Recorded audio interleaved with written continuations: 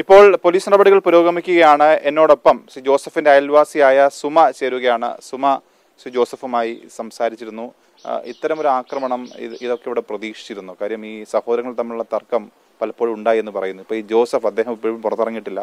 താങ്കൾ സംസാരിച്ചല്ലോ. എന്താണ് ഈ സംഭവത്തെക്കുറിച്ച് വ്യക്തമാക്കുന്നത്?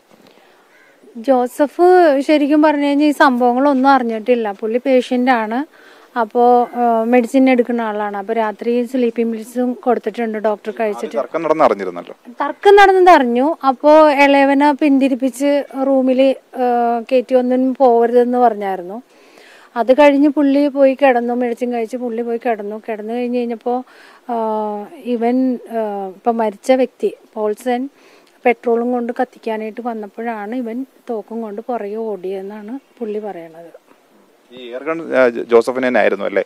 ആ ജോസഫ്. ഇവിടെ ഈ- ഈ ജോസഫ് ഇയർഗൺ ഉപയോഗിക്കുന്നത് കണ്ടിട്ടുണ്ടോ? കണ്ടിട്ടുണ്ട് പലവട്ടം കണ്ടിട്ടുണ്ട്. കാരണം ആ- അങ്ങേര് സ്ഥിരം അത് ഇവിടെ യൂസ് ചെയ്യാറുണ്ട്. അത് പുള്ളിയുടെ ഒരു ഹോബിയാണ്. വെറുതെ ഇങ്ങനെ ഒരു ഇതിൽ എയിം ചെയ്ത് എയിം ചെയ്ത് പുള്ളിക്ക് ടൈം പാസ് ആയിട്ട് ചെയ്തുകൊണ്ടിരുന്നതാണ് അത് അല്ലാണ്ട് വേറെ പ്രായമായപ്പോഴും അത് ഉപയോഗിക്കുമായിരുന്നു. ആ പുള്ളി ഈ ഇട എപ്പോഴും എപ്പോഴും ഉപയോഗിക്കും. അതാണ് പുള്ളിയുടെ ഹോബി. വേറെ ഒന്നും പുള്ളിക്ക് ഇതില്ല. പുള്ളി അത് എയിം ചെയ്ത് എയിം ചെയ്ത് ഇങ്ങനെ. അതുകൊണ്ട് നമുക്ക് ആ സൗണ്ടും നമ്മൾ ശ്രദ്ധിക്കണില്ല. സ്ഥിരം ഇത് കേൾക്കുന്നോണ്ടേ. വളരെ നന്ദി. വിനോദത്തിനായി വെച്ചിരുന്ന ഒരു ആയുധം ഒടുവിൽ മകന്റെ ജീവൻ എടുക്കുന്ന ആയുധമായി മാറി. അതാണ് ഏറ്റവും ഒടുവിൽ ആലുവയുടെ പുറത്തെ ജോസഫിന്റെ ജീവിത അനുഭവം.